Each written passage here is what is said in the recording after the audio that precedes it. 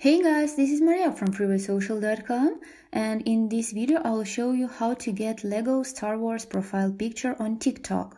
LEGO Star Wars characters have become extremely popular to use as a profile photo on social media platforms, especially on TikTok. Follow these steps and you will find out how you can use it. Firstly, go to Instagram, hit the search tab and find LEGO Star Wars Army.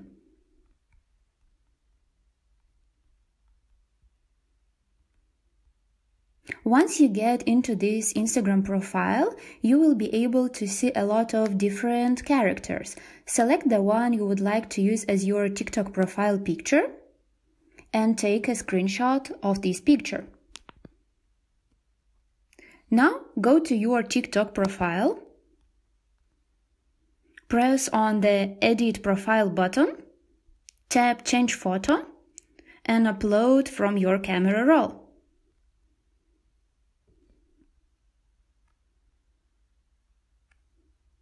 Click Save. That's it.